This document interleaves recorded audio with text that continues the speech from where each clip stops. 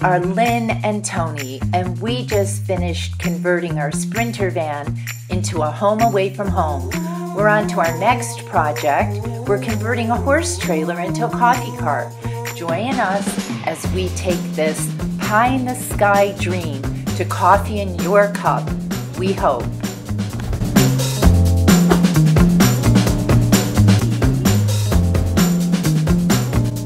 Hey, hi.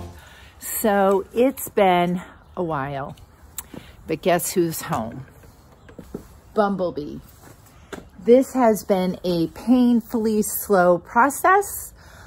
We did make some progress.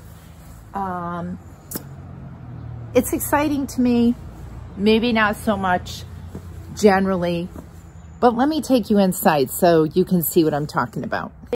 Okay, so we had somebody actually electrify this. You can see some of the wires hanging, but we've got plugs. And we have places to put our lights, which we will do shortly. I'm really excited about this. I have a light switch. So, hi Maisie. So here is the light switch.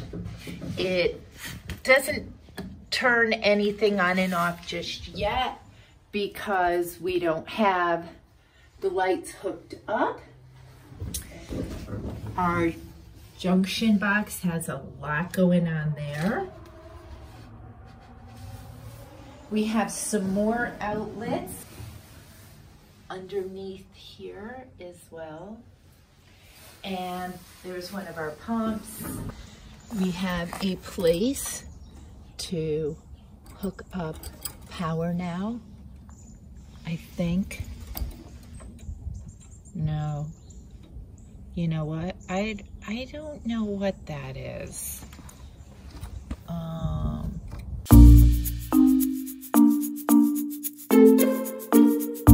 that might just be the trailer lights. I don't know. So electricity next, plumbing after that, and then paint. So have a good one and we'll catch up with you soon. Bye.